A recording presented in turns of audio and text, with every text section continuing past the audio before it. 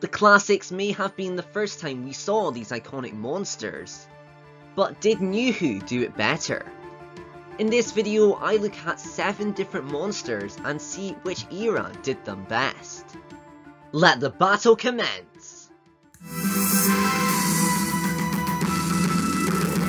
To make this battle as fair as possible, we will need some rules. Rule number 1. It will be the monster's first appearance in Classic Who versus their first appearance in New Who. Rule number 2. There will be no human villains on this list, so don't expect to see the Master. Rule number 3. Finally, there are way too many Cybermen designs, so I will instead just put both styles of the Mondasian Cybermen against each other. Got it? Then let's get into it. The Autons. We first see the Autons in the third Doctor's first ever story. For New Who, we see the Autons again, also in a Doctor's first story, but this time it's the ninth Doctor's. Both attack near the end of the story and both cause a huge invasion. The Autons are based on mannequins and although the New Who ones look more realistic, there is something more terrifying about the older style. The classics take the first point. The Daleks.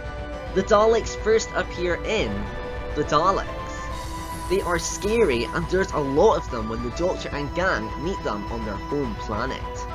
For Dalek there is only one, but that doesn't make them any less scary. At first the Dalek is all weathered and badly damaged, but it doesn't take long until we see the new Dalek design in all its glory. It's clear that the overall design hasn't changed that much throughout the years. At the end of the day, the Daleks are war machines, and as much as I'm a sucker for the old ones, the ones in Who look more ready for a fight. It's anyone's game as it is now one all.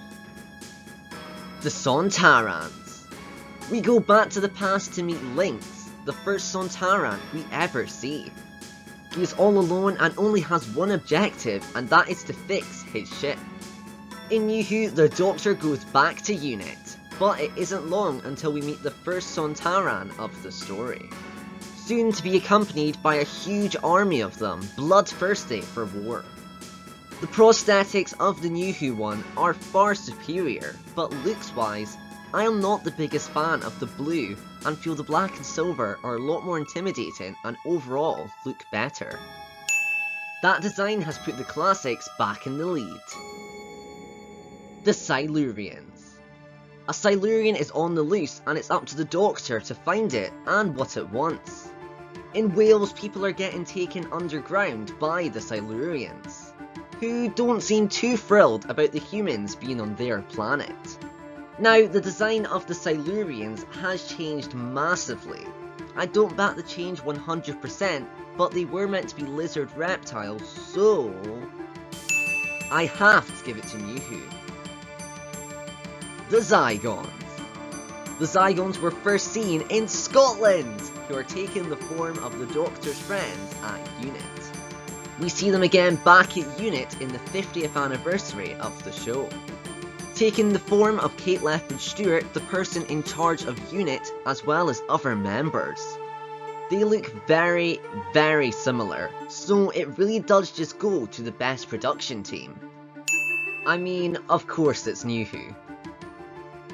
The Ice Warriors. In their first appearance, we see most of the Ice Warriors stuck in the ice. And as soon as they are all let out, the Doctor is faced with many Ice Warriors. In Cold War, it's just the one, Grand Marshal Skaldak. We see him leave his casing and threaten to blow up the submarine. I will say I do prefer the hands of the older design, but the New ones just look so cool. That one might have been a little biased the Mondasian Cyberman. For the First Doctor's last story, he faces a horrifying foe, the Cybermen. They look terrifying, sound terrifying, and nothing is going to get in their way. Throughout World Enough and Time, we see Bill witness the beginning of the Cybermen. At the end, we see a new Mondasian Cyberman, and it's Bill! As you can see, the design in Who was very authentic to the first design apart from the hands. The ones in Who wear gloves, while the older ones show the person's hand. Ugh.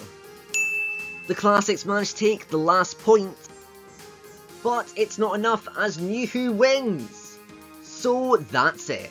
What do you think? Do you agree or disagree? I'd love to see how you scored it down in the comments below. If you're new, don't forget to click that red button down below to join the adventure. We do content from New Who as well as the classics. I've been Lewis and you've been... BRILLIANT! So are you sitting comfortably? Our tribute to the show is if we had to choose another, we just wanna know.